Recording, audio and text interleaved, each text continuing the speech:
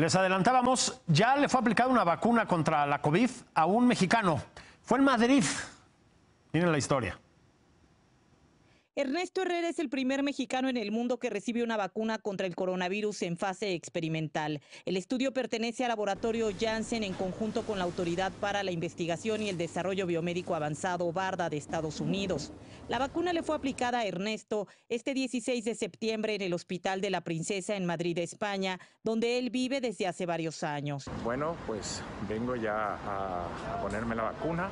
Voy, estoy entrando al hospital de la Princesa y bueno, todo va a ir bien, para mí y para todos. Se trata de la vacuna recombinante AD26COV2S que se encuentra en fase 2 de investigación en un estudio que es aleatorizado, doble ciego y controlado con placebo. En esta fase se está evaluando la seguridad, la respuesta a la vacunación y la respuesta inmune frente al SARS-CoV-2. En esta etapa se está aplicando la vacuna en tres dosis a 1.045 adultos sanos de 18 a 70 años de edad, en grupos seleccionados en Bélgica, Alemania y España. Y eso, eso sucedió, lo de la vacuna, ayer. Entonces yo voy al hospital ayer muy temprano, a las, bueno, a las 8 de la mañana estaba citado y, y me volvieron a hacer un examen de sangre y, y, me vacunaron. Al rato empezó a dolerme un poco el brazo, pero me dijeron, eso es normal. Nos han dado como una especie de diario donde nosotros tenemos que anotar cada día nuestra temperatura, nuestra tensión, nuestra, si nos hemos sentido mal, nos ha dolido la cabeza, o sea, todas las posibles eh, reacciones que estemos teniendo a la vacuna.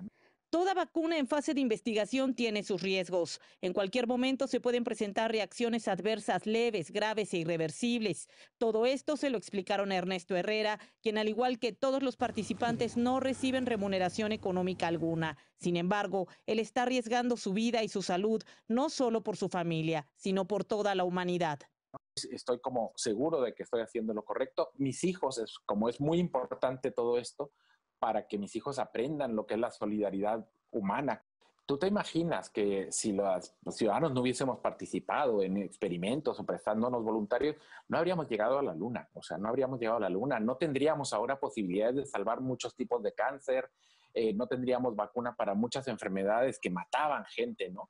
Entonces, claro, alguien lo tiene que hacer. Yo no pretendo ser eh, héroe, esa no era mi intención, pero, pero creo que que, contribuir es parte de lo que debería ser la esencia humana. Si todo sale bien con este estudio, en un mes comenzarán la fase 3 de investigación y a mediados del siguiente año podría estar lista esta vacuna de la que se producirían mil millones de dosis. Irlanda Maya, Foro TV.